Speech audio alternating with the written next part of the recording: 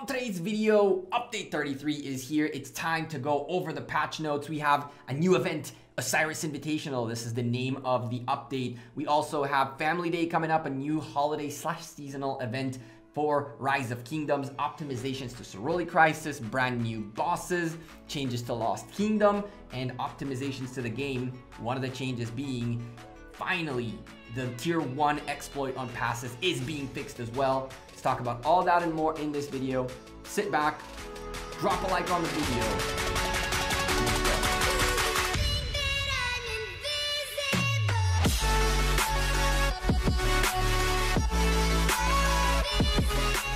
Hey there YouTube, welcome back to Gekko Gaming. Today we have update 33 patch notes. More often than not, they also release a Facebook post, but apparently that's coming out tomorrow. And I didn't really feel like waiting an extra day, making you wait an extra day for the post. If you prefer me to do it with the screenshots on Facebook and all that, and you're okay with waiting a day, leave me a comment down below. But more often than not, the early bird seems to get the worm in here, so let's go over this. So Update 33's name is Osiris Invitational. Osiris Invitational is almost here. Osiris League is almost over, and the top alliances have been ranked in both realms of Horus and realm of Anubis. You may be wondering which of these are two realms is the strongest one. There is an Osiris Invitational coming up, blah, blah, blah, blah. The top four alliances for each realm at the end of Osiris League will be invited to Osiris Invitational. To offer fair competition, all participating governors will use the same set of commanders, troops, individual, and alliance technology. And there's going to be exclusive practice matches to provide participating alliances some help to familiarize themselves with the new competition format. Holy smokes. We knew that the top four alliances would go to Osiris Invitational. This was announced in the beginning of Osiris League. And as a matter of fact, my alliance, JWM, with our second team, JWM2, where I play, are going to Osiris Invitational. Two of our teams are going to Osiris Invitational. And on this channel right here, we're to cover everything you need to know about this event ahead of time. I'll show you the practice matches. I'll show you how the, uh, the system works, show you all the commanders and all the goodies. I love this. One of the things that I've always asked myself is, but the guys in Realm of Anubis have a few commanders missing. What are they to do? Maybe they have less troops for some reason, although a big part of these guys migrated out of the first realm to the second realm, but whatever. This is crazy. To be fair to all competitors, everybody's going to be using the same stuff. So this is all about strategy, teamwork, and gameplay, and ability to play Ark of Osiris rather than having the deep pockets worth of commanders. It's going to change a lot of stuff. For JWM2, for example, we're lacking a lot of commanders, which now we will have availability for. Oh, this is going to be a good one. And for those of you who don't know which teams are going to make it out there to Osiris Invitational, we can show that to you right here. If we go really quickly into the schedule, in the realm of Horus, we have JWM and OV, as well as HKL and JWM2 where I play. And in the realm of Anubis, we have NCB and FN with NBA and 411K. So it's going to be those four against those four. And as I mentioned, we're going to cover everything you need to know about this event. So when you make it there in the future, you'll know how it looks like and what it's all about. Let's go back into the patch notes because there's a lot more to cover. A new event is coming up in the game, Family Day. This is going to open about two weeks, gradually to all kingdoms, about two weeks after the update. Update being on the 27th, so that is next week. This time next week, well, in the morning, better said. Family Day is all about uh, an exciting holiday event, just like the previous ones we've seen, except that this one is a uh, alliance-based one. Family Week, seven days of quests, great rewards, five days, every day, new sets of quests. You get those multipliers, you get your rewards out of that.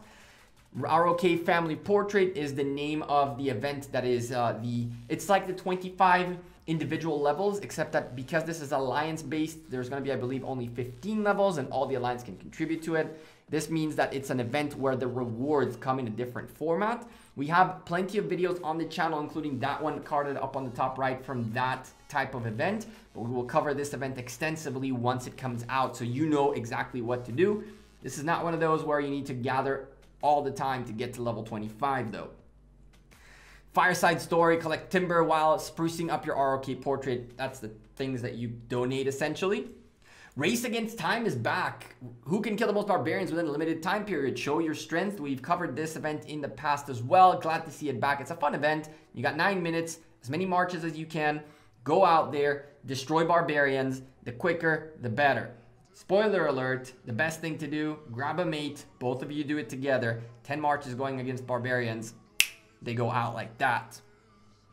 Protect the supplies. Deliver supplies safely to the village. Protect the property up for your citizens. So this is kind of like Silk Road, I guess. I guess they scrapped Silk Road altogether and kind of brought it into this type of game mode where it's a an event within a seasonal event. I like it. It's okay. Silk Road was a little weird. I prefer to see Ceroli Crisis more and Ian Ballad more and less of that event because it was a little bit more weird.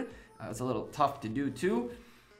More tough to actually register damage, especially because in JWM they just destroy them real quick and it wasn't fun. But hey, now we'll see it at least coming as a holiday event. Two thumbs up as far as I'm concerned. Ceroli Crisis event optimizations. We've added taunt skill that governors will uh, can use to force the chieftain to attack them. Okay. Governors can now exchange for special concussion items in the event store to buff their troops for Ceroli Assault, Ceroli Crisis, and Ian's Ballads. Cool. So if you're having a little bit of trouble getting through hard, hell, nightmare, whatever you're playing in, you might be able to spend a little bit of your coins to ensure that for the next time you'll get that item to help you spruce up your attacks and manage to successfully finish the toughest of levels so you get the best rewards available. New Chieftain, Ak and Hok, born in light, in light and shadow, these twins brothers fight as one.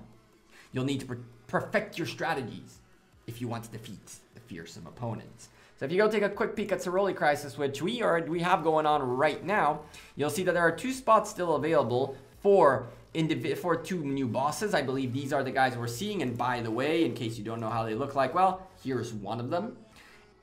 I like it. It means that there are six more opportunities to gain coins. If you're doing the highest of levels of them, that would be uh, 750 coins times six. You give or take, that's what, 4,500 more coins, which means you can get more of your Kiera right here as well as any other rewards on this account. We haven't picked up any of this stuff yet, but once you do, all of these go away as well as these guys right here. I like it. Increasing, improving, working on that Ceroli Crisis. The only thing that I'm missing for Ceroli Crisis is a, folk, a set of people to do this with consistently. Uh, when the event pops up during the uh, server resets, I'm asleep and by the time I wake up, a lot of folks already finished the event. So I need to come up with like a team of four that I know that they know what they're doing. We have our set times that we can play all together and get it done. What we will be doing though is I am going to work on a group, hopefully for the next run, for a group of the members in this channel in game so we can all help each other out as members to continue and get through this event as well. So stay tuned for that. That is coming too. What else we got going on here? Lost Kingdom event optimizations. Okay, based on your feedback about Lost Kingdom event, we've made the following optimizations. Replaced Bloodthirst mechanic with Hot Blooded, preventing governors from abusing mechanics to prevent pass from being captured. Hallelujah. Hallelujah. Thank the Lord. This is the exploit where folks have been sending tier ones all day, all night to these damn passes. And every time that tier one dies on the pass, it triggered Bloodthirst, which would heal 35,000 troops on the pass, which means it was impossible to take them over. When you need to take over a pass for the first time, there are barbarians in there you gotta defeat. And this exploit essentially ensured that nobody could kill those barbarians because three rallies were hitting it, and then five one tier one marches would hit that thing, die, and all those troops healed up in the past, and it was impossible. Finally, they fixed that. Thank the Lord. That's all thanks to you and your feedback, by the way. Maybe ours too. Added a new event rewarding honor points to replace Almighty Overlord event in Lost Kingdom Season 1 and 2. This change will not apply to Lost Kingdom events which are already begun. Hallelujah. Second craziest thing in KVK. I mean, Mighty Almighty Overlord would essentially, do you have a lot of money? Are you going to spend boatloads of speed ups? Cool, let's give you more honor. Essentially, if you were someone who spends a lot of money in this game, you could have very easily closed up about 70, 80, even 100,000 more than that honor just by blasting speed ups. And so if you wanted to grind and get those tw top 20 positions, it would have been that much easier. Nowadays, in Light and Darkness, they have the Light and Darkness event, which replaced it. We're going to make videos about that in this channel as well. I love it. Excellent change. Adjusted Lost Kingdom Light and Darkness immigration so that it prevents immigration for, for kingdoms in the matchmaking phase. This is an interesting one. I was really worried about how this worked out because the way it worked is that immigration locked only at the beginning of Eve of the Crusade. But matchmaking phase was enough time for anyone who got screwed or didn't like their team or didn't thought that there was a better team that they can get to to guarantee themselves a win to dip out on their alliance and pretty much screw them over. Now, not anymore. And honestly, I think this is too little. If you ask me, way before that, when the A's and B's and C's and D teams are declared, migration should be locked. That's my personal opinion. I don't know. That's my personal opinion on the thing. But this is a good step towards getting there. Other changes. Added a city theme manager. Huh. Okay. Here is a speculation. So one of the things that have been announced, not announced, but like one of the um, suggestions left for the devs and they give us as dev feedback in, in the Rise of Kingdoms Discord channel is that they will potentially maybe consider the option of having the city themes come as fragments and then if you miss the city theme in the past you'll be able to get fragments of it and slowly and steadily get a, a theme a skin whatever you want to call it that you don't have. So for example if you are someone who hasn't had the opportunity to win KVK1, then you will be able to potentially get Twilight Falls. If you are someone who hasn't been able to spend a crazy amount in order to get there, maybe the uh, uh, the events that are such as I believe this is one first anniversary event or the Saints Halo event during the Christmas 2019 event. These kinds of skins might become available very soon. I believe that that's what they mean by city theme. And so a city theme manager might be hinting towards possibilities of getting city themes that have already gone by. Interesting. Improved commander skill sound effects. Okay. Lucerne Scroll Volume 4 is about to unfold. We got a couple days, I believe like two weeks, a week and a half until Lucerne Scroll Season 3 ends. They're letting us know there's going to be one coming up right after. Updated Ceroli Assault Reward System. Chieftains will now drop items that governors can exchange for variety of prizes. Okay. Awesome. Increased drop in barbarian camps and barbarian keeps. And the refreshing period of chieftain barbarians have become more irregular. Okay, so timeout. First, you guys said you increased it in the past like two updates ago and turns out that increasing the drop rate what you meant meant is you're gonna put a bunch of stuff that wasn't there before that is fairly useless like one arrow or two minute five minute speed ups instead of the blueprints that used to drop which is what everybody hunted for.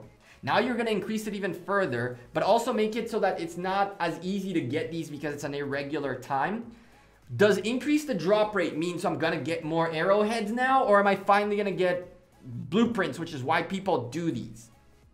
I'm skeptical about this one. I'm skeptical about this one. I really hope uh, by drop rate they mean the blueprints drop rate and not the other stuff drop rate. Don't get me wrong, it's not useless to pick up 150 food, wood, 112,000 stone, or an hour or even three hours worth of speed ups.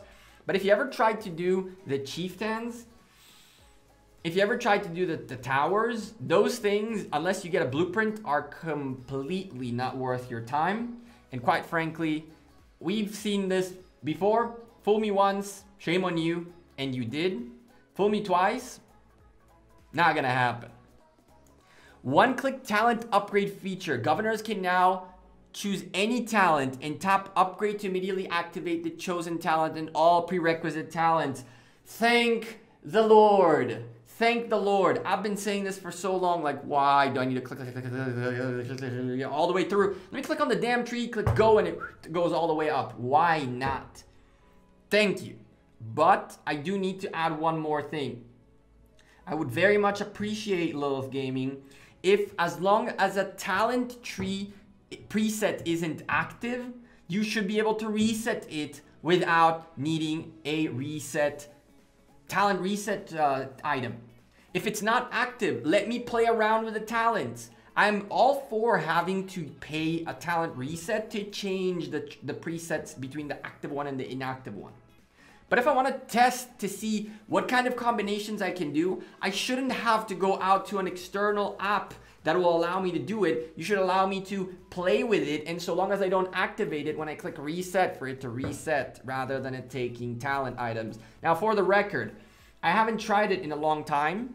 They might have actually already fixed that little thing. But last time I tried to build a like a nice little preset just to try it and then I clicked on reset to, you know, reset it and try something else. It asked me a talent reset item and I didn't like that at all updated the chat system to fix the problem where players are losing messages or unable to send messages. What problem? There are billions of them. It's not one. But anyway. However, following this update, chat records older than seven days will be deleted. Chat records from public channels as such as Alliance and Kingdom channels may be also lost. So please make backup before update.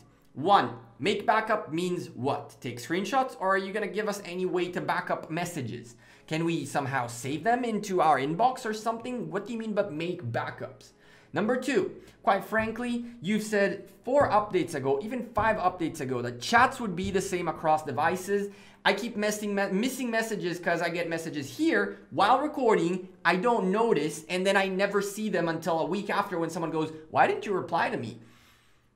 How about instead of only this, Fix that damn chat so it works across all devices and works. No more code 6, no more database errors, no more messages not popping up, no more having to figure out if everybody's quiet or my chat is broken.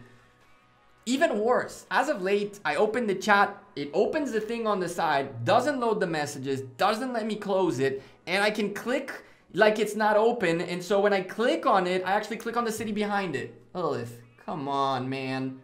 Fix the damn chat. Fooled me once already. You're not fooling me twice. I want to see it fixed, please.